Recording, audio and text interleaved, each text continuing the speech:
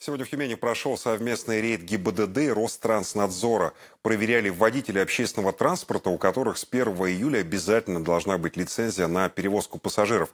О результатах сегодняшнего мероприятия расскажет Анна Княжева.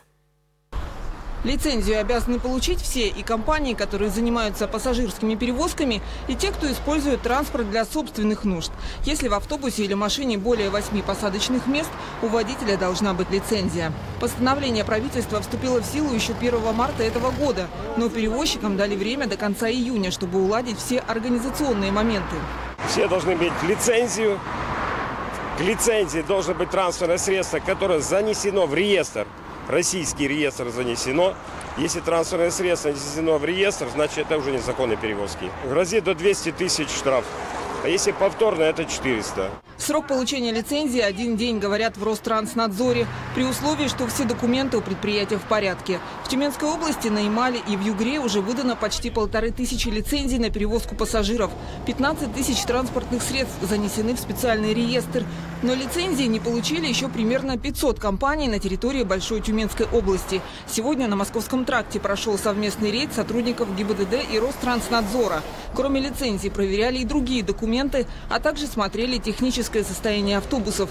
Такой пристальный интерес вызван не только изменениями в законодательстве, но и ростом ДТП с участием общественного транспорта. В этом году на территории Тюменской области увеличилось число ДТП с участием пассажирского транспорта. Произошло 166 ДТП, 6 человек погибли, 244 человека ранено. И это больше, чем в 2018 году.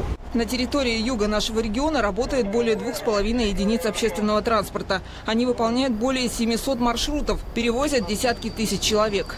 Мы внимательно следим за тем, э, сколько нарушений есть у наших перевозчиков. Более того, э, контрактами, которые заключены на перевозку пассажиров, предусмотрены штрафные санкции за несоблюдение определенных, в том числе лицензионных требований.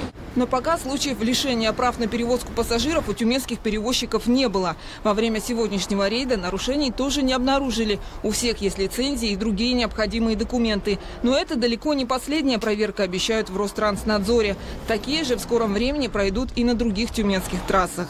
Анна Княжева, Алексей Красных, Тюменское время.